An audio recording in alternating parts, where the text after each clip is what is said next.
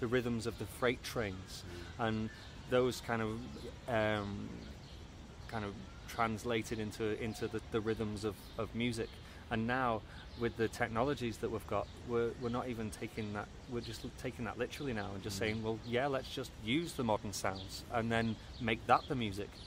You know, so now we're hearing like these beeps and whistles that you hear when you go into McDonald's and you can hear the the, the, the, the burgers are, are cooked and there's Yeah. all kinds of alarms going off all over all over the place. And we're hearing it subconsciously, and that is, is actually affecting the way that music's coming out, isn't it? You know? Mm. Wow. By using technology, is there is there a point where you have to?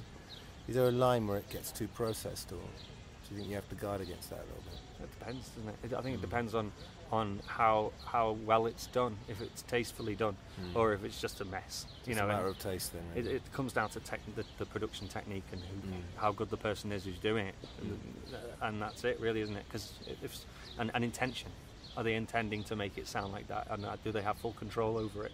Hmm. Is that what their artistic intention is? Otherwise, yeah, people are just making a mess, and uh, sometimes. Though people make a mess and make a fortune off it, don't they? All right. Should we go back then? Uh, origins. Uh. Tell us where you're from and uh, when did you start playing music? Yeah, um, well, I'm, I'm, I'm actually I was born in Southport, um, just, just north of, just north of Liverpool. Um, I do usually tell people I'm, I'm from Liverpool, but so mostly because of the fact that no, no one knows where Southport is. Yeah, they'd know. I, I mean, I tell people I'm from London. I'm Yeah. not- I'm from like an hour outside London. Yeah, right. It's near enough. Um, I mean, and my, my, you know, my family is from Liverpool, and they moved to they moved to, to Southport um, just before having me.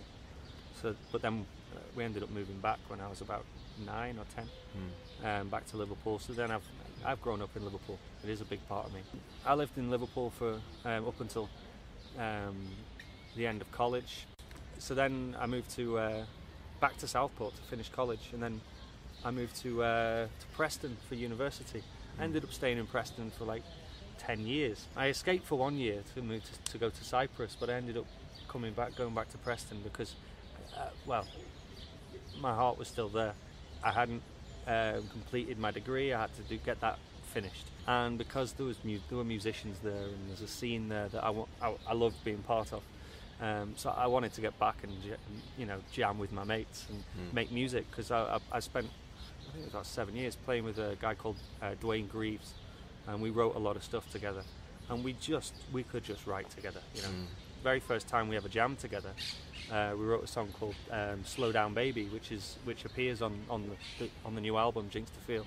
Mm. Uh, so that um, and and actually when we uh, initially wrote it and we were playing it in a band, in a, a six-piece band, it was like a Jimi Hendrix funk song, uh, almost like funk disco with a Hendrix lick on it. And it's it, incredible, incredible track. But then, um, literally like a, six months before I left Preston, um, it, we converted it into a, an acoustic track, It- and it's still, you know, I, I always say. Um, Great songs. It doesn't matter how they're done. They're always great songs. So you can take, you can turn it, you know, you can um, just completely turn any song into any into any style. Like uh, what's it called? Uh, that what's the, the the guys that did the uh, the Radiohead, the the reggae one. Um, Ah, yeah, yeah, yeah. No, they've done, yeah, they've done Dark Side of the Moon, Sergeant Pepper as yeah, well. yeah, yeah, and, and it's OK Computer they did. Yeah. And, and, I can't and if it's a great song, it's a great song no matter how it's done. And that's that's the case with Slow Down Baby. It sounds great in, in Mm. any way that it's played. So uh, and that was just what, the way that we wrote together. It was we, we wrote stuff that was just great. We, it dragged me into the stu- into the Mm. studio sometimes to, to, to finish a song, and Mm. I'd be hungover and not in the mood, and he'd be like, "No, just do it," and, and it'd force me to write, and I'd be like, "Okay," and and, I'd, and it'd still be a great song. Mm. So I don't know. We kind of just brought something out of each other that, we, that was really um, better than just the, um, us on our own. I think. Uh, can we just go back to, if you don't mind, talk about Liverpool because I think Liver- Oh, yeah. Liverpool's something that peop- overseas people or whatever would know more about. Um, has it retained uh, a lot of its uh, identity? Because what, what's Liverpool famous for? I mean, humour for, for sure. Um, Um, used, I guess comedians, pop groups. But Liverpool as a city, what is it famous for?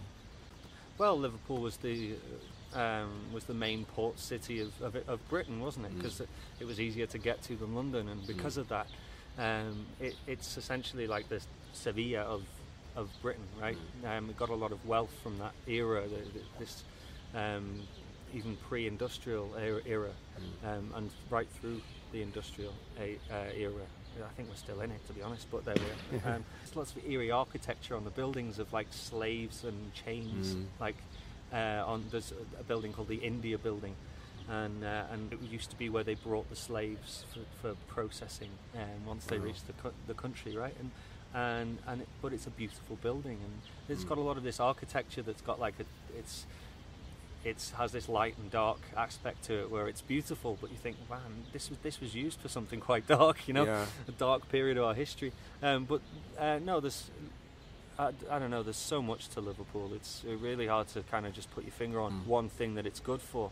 Um, Do you mind if I ask one thing? Do you think the humour comes from that sort of dark past? Is it is it like a reaction or Liverpool humour is very kind of dry and ironic generally, isn't it? yeah, I think humour comes from humour is a, a coping mechanism. Yeah, it comes from adversity. Yeah, Yeah. Against adversity. I remember there was a um, was it the, the Dalai Lama or Gandhi that I know I, mean, I know Gandhi visited the north, and he was saying that he thought that the people of England have great coping skills, and I Mm. think the Dalai Lama commented on it as well.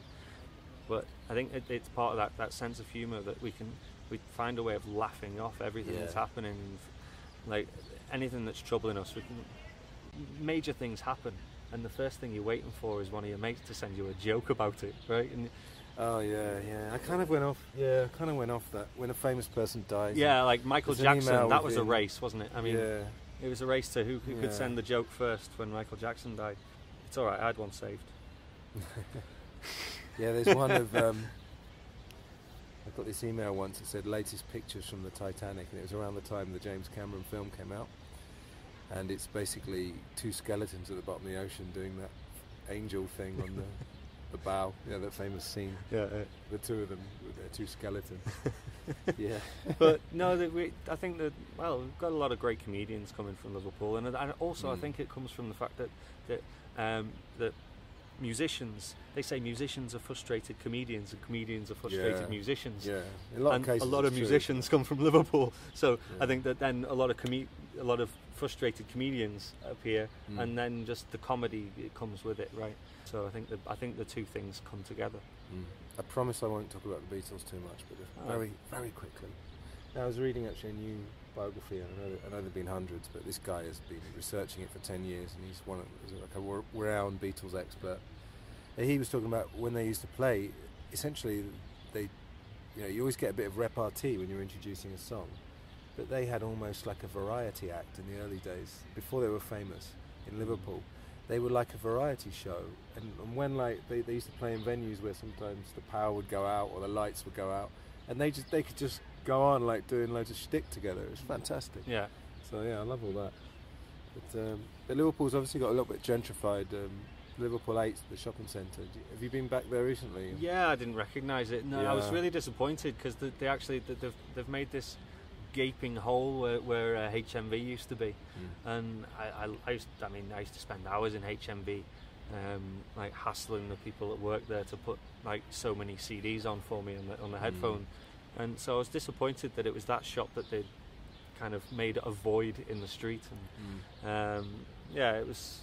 But Liverpool needed modernising, and it's happened, and, and, and it looks great. And I I also also like the fact that they've, they've cleaned the place up Mm. because the, some of the buildings in the centre of Liverpool, near the near the front, near the um, the Liver Liver buildings, Mm. the, the Three Sisters, um, they've they've got um, these huge vents for the the t- Mersey tunnels, and I don't know if it was just whether it was that, but they were black. The, all the buildings were black, and I, I grew up with them, all these buildings being black and thought they were black.